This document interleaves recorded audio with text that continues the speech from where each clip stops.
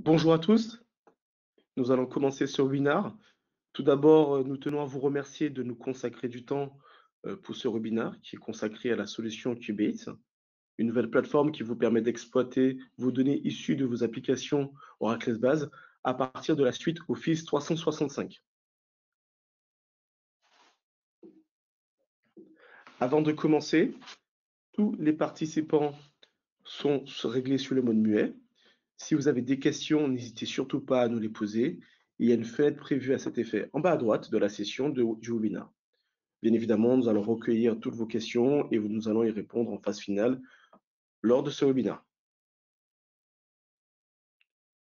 Concernant les intervenants d'aujourd'hui, nous avons avec nous Ludovic Delfour qui est en charge de la partie business développement euh, chez Quart Insight, Gaël Roustan qui est CTO chez Quart Insight également, et moi-même, Stéphane Toll, en charge de la partie commerciale chez Limpida.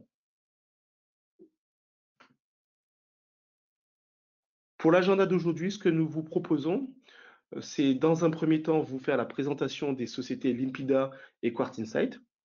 Puis Ludovic prendra la parole pour vous donner, vous expliquer la philosophie de cette solution. Et nous allons passer à la phase démonstration. Et à la fin, nous, avons bien évidemment la session de questions-réponses. Limpida, en quelques mots, donc nous sommes une société de conseil spécialisée sur les sujets de la gestion et du pilotage de la performance et de la business intelligence. Depuis maintenant plus de dix ans, nous accompagnons les directions financières, les équipes du contrôle de gestion sur l'optimisation de leur système décisionnel et bien sûr de manière plus opérationnelle sur les phases d'élaboration budgétaire. La spécificité de Limpida, ce sont ses consultants qui ont aujourd'hui une double compétence, à la fois métier et technique. Aujourd'hui, nous avons plus de 100 clients et nous avons aujourd'hui une croissance de 10% annuelle. Voici quelques-unes de nos références. Aujourd'hui, nous travaillons avec tout type d'entreprise, de la PME au CAC 40, sous tous les secteurs d'activité. Je laisse maintenant la parole à Ludovic, qui va maintenant nous présenter la société Quart Insight et bien sûr évoquer la philosophie de cette solution Cubate. Merci Stéphane, bonjour à tous. Donc, pour vous donner quelques éléments sur, euh, sur notre société Quart Insight, nous sommes un cabinet expert dans la mise en œuvre de solutions EPM et BI. Les notions d'expertise, partenariat et management sont au cœur de notre ADN. Expertise, puisque nos consultants ont plus de 20 ans d'expérience sur les infrastructures et applications EPM BI, avec également une euh, certification Oracle Gold Partner. Partenariat, parce que nous avons toujours la volonté d'établir une relation de confiance au service des clients avec lesquels nous travaillons et enfin, la notion de management fait référence à la conduite sécurisée de vos projets dans le respect de vos coûts. Pour ce qui est de notre activité, celle-ci va bien au-delà du conseil, puisque nous sommes aussi aujourd'hui éditeurs de, logiciels. En quelques mots, nos domaines d'intervention s'étendent du conseil à la formation, nos solutions répondant à différentes problématiques telles que la maintenance applicative, les tests de montée en charge ou encore la transformation digitale du poste de travail que nous allons aborder aujourd'hui avec Keybase. Donc, pour vous donner quelques éléments sur euh, ce qu'est Keybase, eh bien, c'est une plateforme de reporting et pilotage de type SaaS permettant l'accès à vos données EPM depuis le cœur des applications de vos suites bureautiques cloud, Google et Office 365.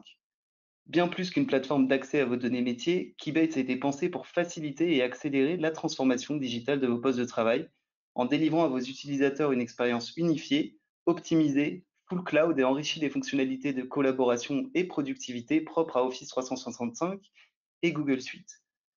Donc tout cela se traduit par des fonctionnalités exclusives, comme vous pouvez le voir sur, euh, cette slide. Une optimisation des, processus métiers, donc, avec ces fonctionnalités qui n'ont jamais été vues au cœur de vos suites euh, Office Cloud. Je parle par exemple de la visualisation, saisie et collecte de vos données, ou encore du lancement de calcul OLAP en arrière-plan, qui sont désormais possibles depuis votre tableur ou vos outils de présentation web, le tout sans aucune installation sur le poste client. Keybase est accessible sous la forme d'add-on ou d'add-in, activable instantanément sur votre domaine utilisateur Microsoft ou Google. Notre plateforme se connecte simplement à la source PM de votre choix de manière fiable et sécurisée. Je n'en dis pas plus et vais laisser maintenant la parole à Gaël pour la démo de Keybase sur Excel euh, d'Office 365. Merci Ludo, merci Stéphane, bonjour à tous. Alors pour la démonstration, nous allons suivre euh, Pierre, qui est contrôleur de gestion dans la société Kim. Donc, c'est une société fictive hein, que nous avons euh, imaginée pour euh, nos démonstrations Keybates. Euh, cette société est spécialisée dans la vente de jeux vidéo en ligne et en magasin physique. Pierre, donc contrôleur de gestion chez Kim, va devoir passer à la suite Office 365. Donc, il avait l'habitude d'utiliser la suite classique, on va dire Microsoft Office uniquement en mode desktop. Et là, au niveau de la bureautique, euh, ils vont euh, sauter le pas et passer sur la suite Office 365. Alors, ça ne veut pas dire passer tout de suite dans le web euh, tout, ça veut dire profiter de toute la puissance du cloud Microsoft, à la fois en mode desktop et en mode web. D'accord Donc, on va voir avec, avec Pierre comment est-ce qu'on va pouvoir continuer son activité de contrôleur de gestion. dans un premier exemple, on va reprendre un classeur qui existait déjà et on va avec lui brancher ce classeur-là sur son cube S-base existant et voir comment ça se passe. Est-ce qu'il y a des choses à changer sur son poste? Est-ce qu'il y a des éléments à changer sur ses grilles qu'il a déjà pré-créées, etc. Comment ça s'intègre euh, sur euh, son environnement de travail? Dans un deuxième temps, on verra ensemble comment est-ce que Pierre va répondre à une question qui lui est posée et dans le cas où il n'a pas le tableau ou le classeur Excel qui correspond tout de suite à cette réponse-là. Donc nous allons construire avec Pierre à partir de zéro euh, cette grille qui va lui permettre de répondre à cette question-là. Et on verra ensemble qu'il ne sera pas forcément autonome pour répondre à cette question-là. Et c'est là où une des forces de toute la partie cloud de Microsoft, donc la partie collaborative, on va voir ensemble comment cette collaboration peut être possible aussi bien sur les outils desktop que les outils web et comment ces deux environnements-là peuvent cohabiter et comment faire cohabiter votre Cubase base qui est aujourd'hui aussi bien on-premise qu'en cloud avec les classeurs qui sont aujourd'hui utilisés euh, sur la partie desktop. Donc je vais prendre la main sur le partage d'écran. Très bien, donc tout le monde devrait voir mon écran à présent. Euh, comme je vous le disais tout à l'heure, je vais démarrer par ouvrir le classeur Excel que Pierre avait l'habitude de travailler. Donc, pour cela, je clique dessus. Alors, première précision pendant que le classeur Excel s'ouvre, vous voyez que la démonstration, je vais la faire sur un Mac. C'est-à-dire que la donne que l'on vous propose aujourd'hui, il fonctionne sur la partie aussi bien desktop et web. Et lorsqu'on est en version desktop, on ne fait pas de différence entre la version euh, Mac ou Windows de la suite bureautique Microsoft. C'est-à-dire que notre add-on est nativement compatible avec ces deux systèmes d'exploitation. Et donc, ça va encore plus loin. Ça euh, signifie que côté client, vous n'aurez en fait rien à gérer. Il n'y a pas d'installation, il n'y a pas de conflit de version. Est-ce qu'on est en Windows 10, Windows 8 Comment faire si jamais il y a encore une nouvelle version de Windows qui se passe? Tout ça, on s'en absout. On a un add-on qui est nativement compatible et qui s'active simplement en le choisissant dans la liste des add-ons disponibles pour l'utilisateur. Alors pour ça, je vais vous montrer. Donc là, j'ai ouvert un classeur qu'il est euh, peut-être qu'il a été fait par Pierre. Pour insérer la donne, je vais le choisir dans la liste de mes anodes qui existent dans ma bibliothèque. Je le sélectionne. Lorsque je le sélectionne, il va s'activer automatiquement en haut dans le ruban. Et il va apparaître ici. Alors, avant de tout de suite euh, vous présenter comment il se présente, je vais vous présenter tout de même rapidement les deux onglets euh, qui intéressent euh, Pierre, voir s'il va être capable de les reprendre tel quel pour pouvoir de nouveau les synchroniser et collecter la donnée. Justement, en parlant de Collect, le premier onglet que je vous montre, c'est un onglet qui va être dédié à la saisie de données. Alors là, on est dans le cadre où, en fait, par jeu vidéo et en fonction de la plateforme, les contrôleurs de gestion dans des différents pays doivent saisir les quantités vendues, les quantités remisées, etc. Dans ce tableau-là, vous voyez qu'il y a plusieurs éléments graphiques que l'on va avoir envie de conserver. Hein. Il y a déjà tout le formatage, il y a les éléments euh, graphiques ici qui guident l'utilisateur pour lui dire quel ordre est-ce qu'il doit saisir les informations de point de vue, notamment l'année, la période, etc. Il y a également des éléments de formatage conditionnel, avec euh, aussi bien en euh, arrière-plan que des éléments graphiques pour savoir si la donnée est positive ou négative. Il y a des logos pour reprendre la charte graphique de la, société, et on voit qu'il y a des graphiques qui sont reliés à ce tableau. Donc cette première feuille-là va servir surtout à de la saisie à contrôler la saisie. Et on a un deuxième onglet ici qui est plus dédié au contrôle, puisqu'ici on a un seul élément à saisir, donc à choisir, c'est-à-dire le pays ou la zone géographique qui intéresse. et ça va représenter le cumulé des quantités vendues sur l'année euh, l'année en cours sélectionnée. Et toujours pareil, ici on retrouve un graphique avec des petits euh, des mini graphiques ici qui représentent également l'évolution sur l'année des données. Alors dans un premier temps, je vais activer la donne Keymates. Donc tout à l'heure, vous avez vu que j'ai déjà activé le ruban. Maintenant, je vais afficher la fenêtre de connexion sur le côté. Je vais m'identifier. Alors pour s'identifier euh, à mon base, je vais utiliser le compte SBase, c'est-à-dire qu'on va s'appuyer sur la sécurité SBase. On ne va pas rajouter une surcouche. On ne va pas se mettre entre SBase et, euh, et le poste client. On va utiliser toute la sécurité native d'SBase. Après, SBase, s'il utilise, euh, s'il utilise la sécurité native ou s'appuie sur un annuaire externe d'entreprise, euh, pour nous, ça ne fera pas de différence du moment que la sécurité est fournie par SBase. Donc là, je vais me connecter avec un compte. Alors, pour savoir également, là, je suis dans un cadre où euh, la transition cloud est, plutôt avancée euh, chez, nos amis de chez Kim, puisque leur serveur SBase est déjà hébergé en on-premise, mais chez un fournisseur de IaaS, euh, donc accessible sur net après, via VPN. Donc il y a une URL qui est ici disponible. je ne me trompe pas sur la syntaxe. Voilà. Et le flux par défaut est entièrement sécurisé du début à la fin. C'est-à-dire qu'on est en HTTPS et on a également la possibilité de faire ce qu'on appelle de l'authentification SSL par certificat. C'est-à-dire qu'à la fois vous authentifiez euh, le serveur, mais vous authentifiez également toutes les requêtes émanant du client. Ça vous garantit une sécurité complémentaire pour toutes les requêtes qui arrivent sur votre serveur. Euh, en l'occurrence, c'est le serveur, le provider services qui ensuite euh, fait le relais à votre serveur espace. En provider services, c'est vraiment un service faisant partie intégrante de la suite EPM et qui est déjà utilisé par les autres connecteurs existants pour interroger S-Base. On n'interroge jamais une base de données directement. Donc là, j'ai saisi de connexion, je me connecte. Lorsque l'utilisateur se connecte, il va déjà avoir la liste des clusters auxquels il a accès. Et pour voir ce qu'il y a dedans, on clique euh, sur le nom du cluster qui nous intéresse et ça nous affiche la liste des applications. Là, dans cette liste d'applications ici, il est possible de lister du coup les cubes sur lesquels on a envie de, se connecter. Donc là, moi, ce qui m'intéresse, c'est le cube principal de la société. Donc, je vais cliquer dessus. Et je vais finir par brancher le cube. Alors, avant de rafraîchir, on a expliqué à Pierre qu'il avait deux possibilités sur euh, le, formatage des données qui vont être restituées dans SBase. Le mode par défaut active la mise en forme conditionnelle d'SBase. Donc, ce qu'on va faire, c'est qu'on va le désactiver pour l'instant, puisque j'ai envie de garder cette mise en forme conditionnelle exacte. D'accord? Les deux peuvent cohabiter, hein. il faut simplement passer à le désactiver. Donc là, je le désactive. Et maintenant, je suis prêt à rafraîchir cet élément. Et là, normalement, c'est assez instantané. Alors, je vais peut-être vous montrer si je supprime des données, pour se rendre compte hein, que ça rafraîchit bien. Donc là, vous voyez qu'en fait, en quelques clics, en sélectionnant l'application, euh, et en se mettant sur la bonne feuille, j'ai simplement à rafraîchir. La grille était déjà valable au niveau d'espace.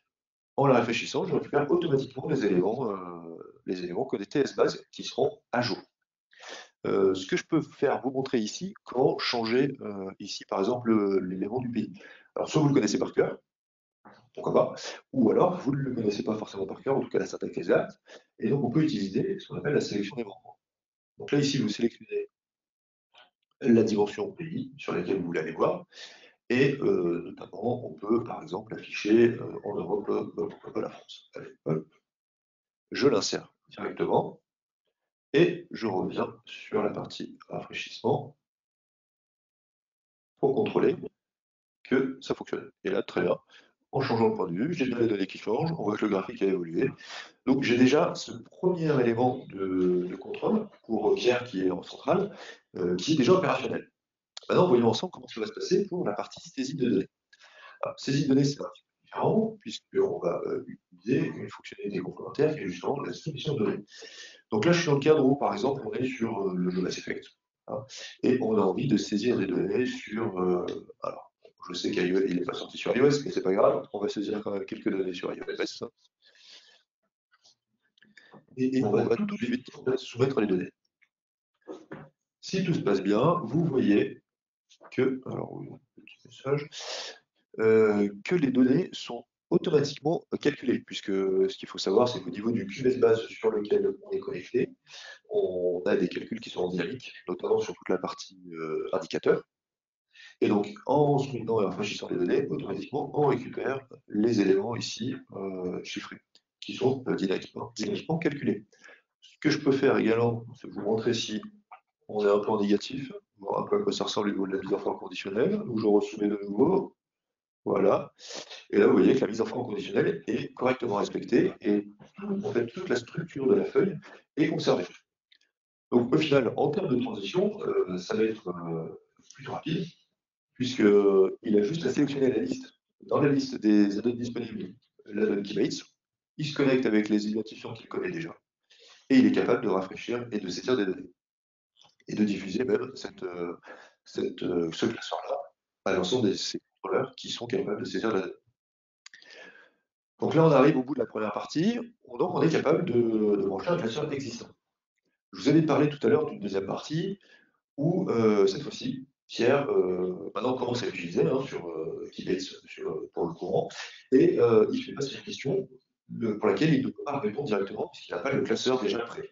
il n'a peut-être pas prévu toutes les questions, donc là on est dans le cas où il a besoin d'identifier une région géographique qui pose problème et éventuellement corriger les données qui ont été saisies euh, sur cette région géographique-là.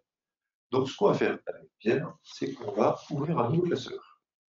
Pour ça, on va partir de zéro. Alors, vu qu'on est, euh, on parle de sécurité tout à l'heure, c'est pareil. Lorsque vous ouvrez un nouveau classeur, la sécurité, euh, elle est cloisonnée à votre fichier. Donc, si vous ouvrez un nouveau fichier, forcément, vous êtes obligé de vous reconnecter. Donc là, je suis dans le cadre d'un classeur. Je suis toujours sur la partie desktop. Hein. Et je me connecte. Donc là, non, pas trop de passe. Je vais sélectionner mon cube. Et je vais cette fois-ci démarrer ce qu'on appelle l'analyse ad hoc. Alors, je vais vérifier, bon, je vais vérifier après, au niveau de la coloration syntaxique, on ne l'a pas encore, donc je vais l'activer justement, puisque cette coloration syntaxique-là, elle vous permet en fait de, de guider l'utilisateur sur euh, la nature des cellules qu'il voit. C'est-à-dire, en gros, est-ce qu'il peut saisir de la donnée, ou est-ce qu'il n'y a pas accès, ou est-ce qu'il est en lecture seule, est-ce qu'il y a l'erreur, etc. Donc là, dans le cadre ici, je l'active, je rafraîchis pour voir que c'est pris en compte. pour l'instant, je n'ai pas de données. Alors, il y a certains éléments que je connais déjà. Donc, comme on a l'habitude de faire, je peux très bien saisir des éléments directement dans la grille. Donc, je sais que c'est sur 2019, sur le scénario actuel que j'ai un souci, et en périodique, puisque euh, en cumulé, je ne serai pas capable euh, de saisir, puisque tout est euh, automatiquement calculé en cumulé. Sur la V1, et on va se mettre en janvier. Allez. Euh, maintenant, je réfléchis. Cette grille-là, déjà pour contrôler tout est valable, très bien.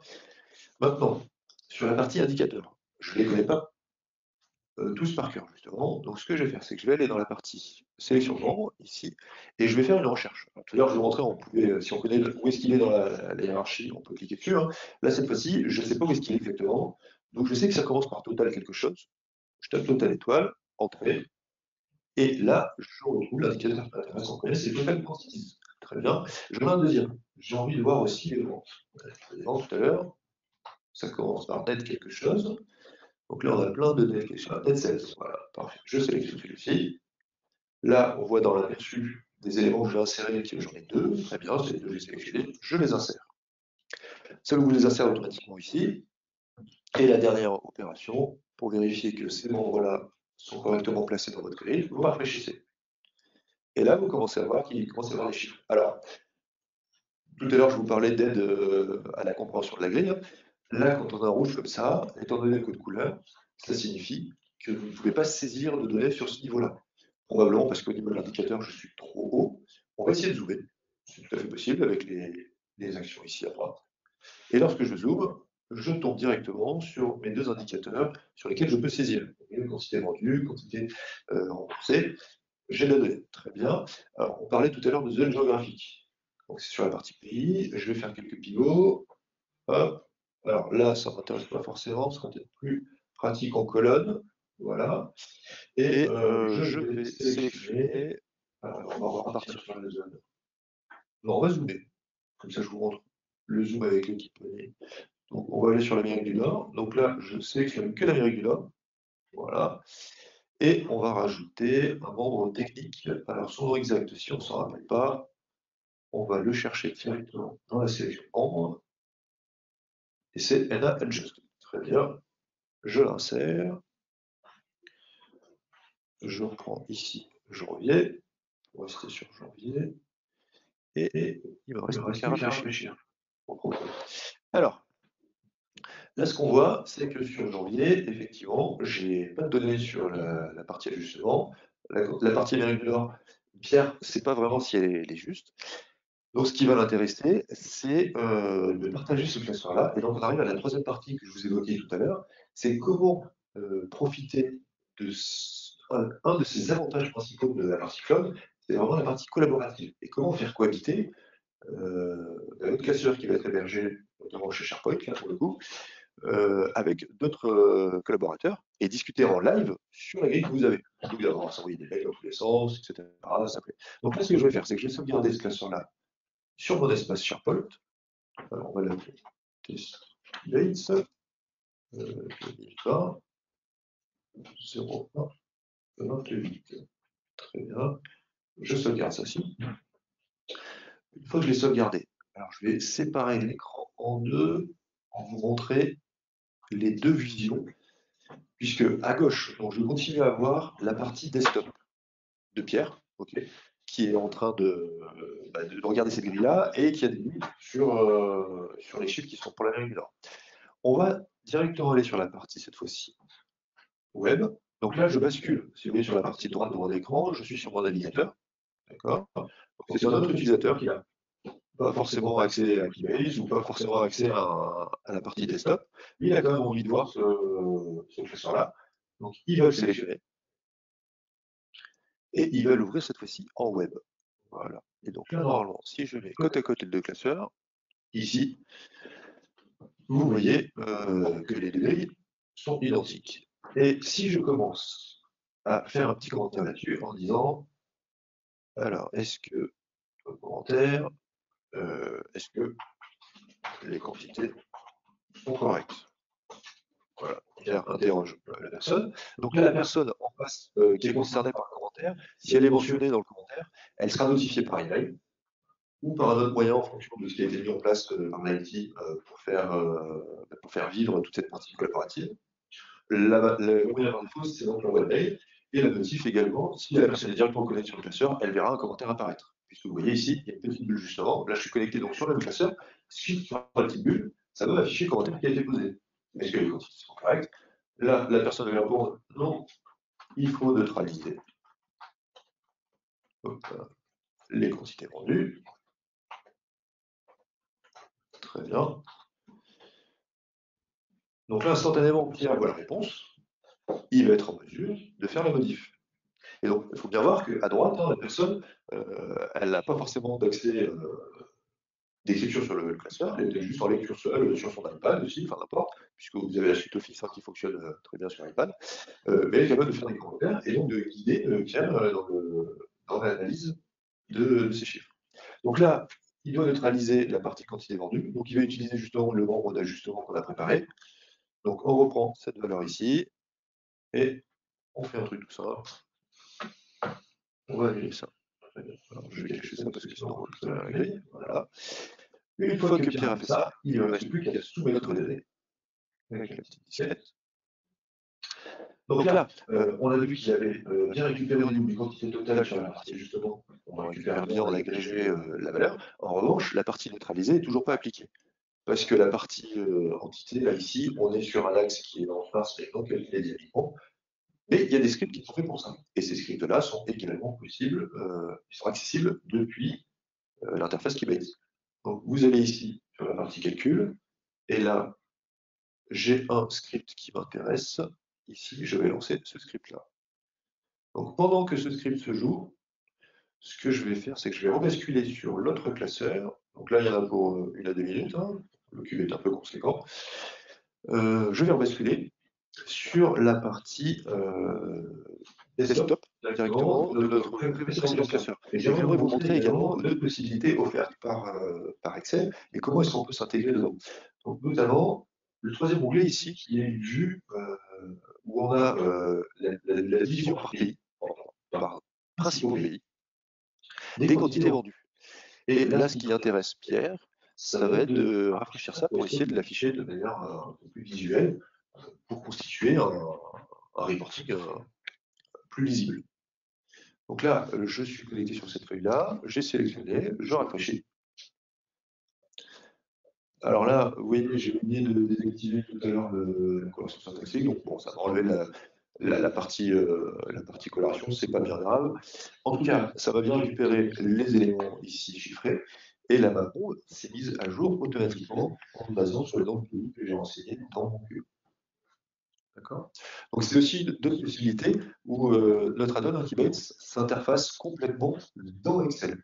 Et il fonctionne en parfaite euh, avec les différents éléments euh, graphiques que vous pouvez utiliser ou tout autre élément qui sont disponibles dans Excel. Alors on va retourner voir, rafraîchir l'autre classeur Excel pour voir si la neutralisation est terminée. si je me remets ici, que je rebascule là pour rafraîchir. Alors, je fais trop vite. Alors, bon, ça c'est la démo. Très bien. On va se redéconnecter, se reconnecter.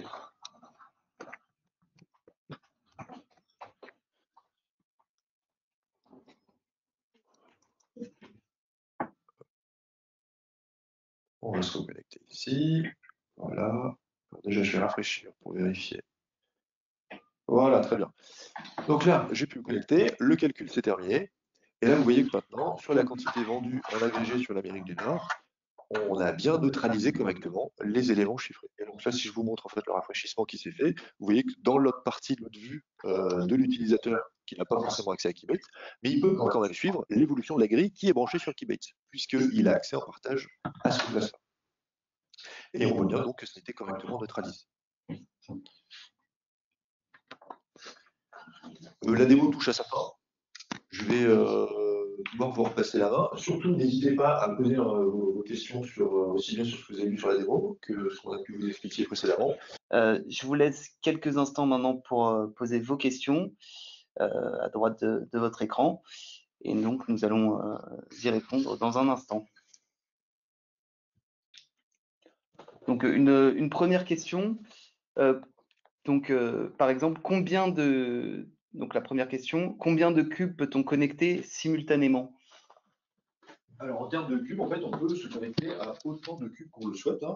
Il n'y a pas de limite. Euh, du moment que le serveur SBase est capable de, contenir ces cubes-là, vous pouvez en afficher autant que vous voulez, et vous, êtes vous pouvez euh, connecter autant de cubes que vous voulez sur n'importe quelle feuille que vous le souhaitez. Donc il n'y a pas de limite euh, virtuelle sur cette nombre de connexions. Alors il y a une question sur la sécurité. Euh, alors oui, d'accord. Donc la question c'est comment fonctionne l'authentification euh, dans les deux sens? Donc effectivement, pendant la démo, je vous en ai parlé euh, de cette partie-là. donc l'authentification dans les deux sens, elle marche parce qu'on va encapsuler la, requête de notre add-on avec notre certificat. C'est-à-dire que côté SBase, il y a le serveur qui va n'accepter que des requêtes qui sont signées avec notre certificat euh, euh, quartzinsight.com. Euh, donc ça, c'est une option que l'on propose et ça vous permet de faire ce qu'on appelle du double SSL. Donc c'est-à-dire que du coup, la requête a besoin d'un certificat côté client et elle, demande aussi à ce que votre serveur, SBase en l'occurrence, il, il possède aussi un certificat. C'est pour ça qu'on parle de certificat dans les deux sens cette solution fonctionne aussi bien dans la version euh, web que desktop, hein, comme, on l'a vu. Alors oui, on peut peut-être revenir sur cette partie-là, parce que ça, c'est une partie euh, qui est quand même euh, assez structurante pour le futur de, la suite Microsoft Office en entreprise, notamment, puisque toute la partie Microsoft Office est en train de devenir entièrement compatible cloud. Ça ne veut pas dire que la partie desktop disparaît. Au contraire, la partie desktop reste au centre de la suite Office, avec une partie web euh, qui euh, va en devenir l'équivalent et qui en fait va permettre aux utilisateurs de basculer de l'un à l'autre sans réelle différence. certains utilisateurs seront plus allés sur la partie desktop, pourquoi pas. d'autres seront plus l'aise sur la partie web, ok. Après, il y a d'autres supports comme la partie iPad sur laquelle on a déjà la suite Microsoft Office et notamment Excel qui est, qui est opérationnel. La Keybase est d'ailleurs opérationnelle également sur la partie Excel iPad. Mais en fonction de la taille de votre support, forcément, vous n'aurez pas les mêmes usages. La partie iPad sera plus, plus, va dire, plus indiquée pour faire du reporting, alors que sur un ordi, c'est effectivement plus facile de faire la saisie de masse. en tout état de cause, euh, Microsoft est en train de modifier tout ce fonctionnement-là, et notamment toute la partie euh, macro est en train de disparaître pour être remplacée à terme par le JavaScript, puisque toute la partie API Microsoft est en train euh, d'être rendue disponible sur la partie JavaScript, et, donc en fait l'effort sur le développement, il est vraiment de ce côté-là. Donc tout ce qui est basé aujourd'hui sur les, macros VB ou le VBA, euh, ben, à terme, il faudra le, revoir puisqu'il faut euh, dès aujourd'hui euh, avoir en tête qu'il faut se mettre en JavaScript pour toute la partie API et la partie, la partie dev Excel pure. Voilà, donc il n'y a pas de, déploiement, ça se passe de la même façon qu'on soit sur web ou sur, euh, dans la version web ou la version desktop euh. Tout à fait. Aucune contrainte sur le poste client. Euh, il n'y a plus besoin de, s'occuper, de savoir si on a la version Excel, je ne sais pas combien, avec le Windows en 32 bits ou en 64 bits, avec est-ce qu'on est en Windows 10 ou est-ce qu'on est encore en Windows 7 ou 8, ah ben non, c'est pas compatible. Non, tout ça, on n'a plus besoin de s'en préoccuper. Toute cette partie de l'administration du poste utilisateur, elle est complètement effacée et elle est euh, centralisée sur la gestion de la donne qui est à assurer par nos soins, puisque c'est ce qu'on vous expliquait en début de, en début de présentation, c'est une solution en full SaaS. Donc il n'y a même pas de votre côté à gérer euh, de l'infrastructure complémentaire. On va euh, uniquement se connecter à vos services existants. Donc comme je vous l'expliquais tout à l'heure, lorsqu'on se connecte à S-Base, on va passer par ce qu'on appelle l'Application Provider Services, qui est le service standard pour effectuer les connexions à S-Base.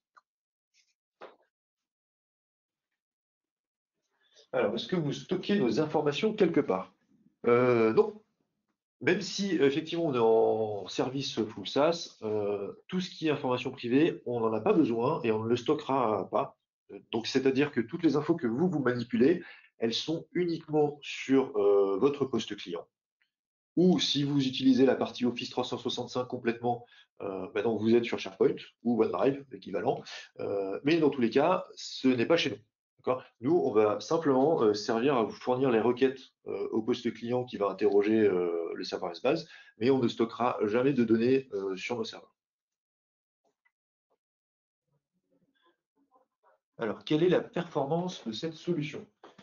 Comme vous l'avez vu hein, sur le 1 cube qui est de, taille, euh, taille raisonnable, hein, on a des temps de restitution qui sont euh, extrêmement bons. Euh, après, comme c'est ce qu'on a déjà fait pour d'autres clients qui utilisent déjà notre solution, il est tout à fait possible d'organiser des tests de charge. On a déjà la techno qui est prépackagée pour effectuer justement cette partie-là. Donc de simuler un nombre d'utilisateurs, on peut monter à 50, 100, voire plus même, simuler depuis n'importe quel point de la planète, donc ça, c'est déjà, on a déjà tout ce qu'il faut pour faire ça, euh, pour évaluer euh, bah, le support de la charge que vous souhaiteriez, euh, avoir sur la solution, ce qui vous permettrait à la fois de tester notre solution en termes de support de charge et également votre serveur S-Base s'il est capable de, supporter la charge. Très bien, donc je crois qu'on est arrivé au bout des questions. Euh, de toute façon, nous restons à votre, votre disposition pour, euh, pour répondre à toutes vos questions, euh, voilà, que vous ayez assisté à ce webinaire en direct ou dans sa version replay. Donc n'hésitez pas à revenir vers nous. voilà, vous avez nos coordonnées qui s'affichent à l'écran. et bien sûr, on se tient à votre disposition pour organiser, si besoin, une, démonstration en one-to-one -one en direct pour aborder précisément votre contexte applicatif. Voilà, je vous, je vous remercie à tous et vous souhaite une, une bonne fin de journée. Merci à tous. Et merci, euh, à l'Impida pour, euh, pour l'organisation de ce, de ce webinaire.